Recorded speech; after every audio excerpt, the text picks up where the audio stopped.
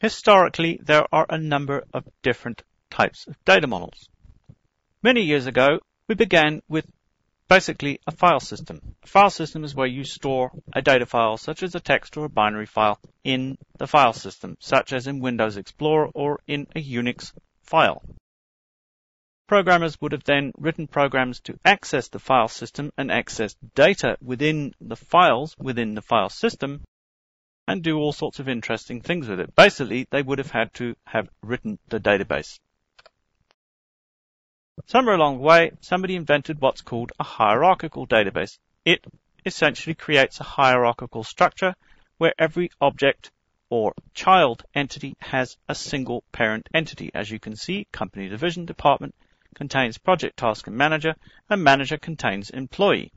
Employee is not part of task, project, and manager, but only part of manager. It can only be part of a single parent. The next generation up from hierarchical databases were network databases. Essentially what a network database allowed was a child object to have multiple parents. In this case, you see you have project, which is actually a child of both a project type and a department.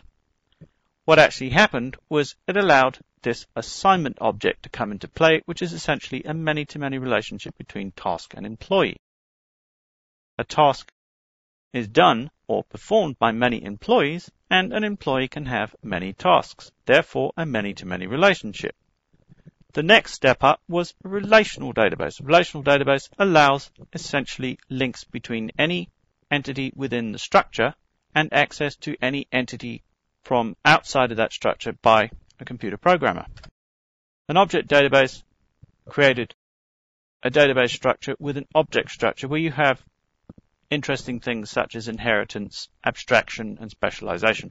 Class structure. An object relational database was really initially an answer to relational database vendor competition or the threat of competition from newly introduced object databases where the relational database vendors included certain object aspects within relational databases, but the underlying structure is still relational.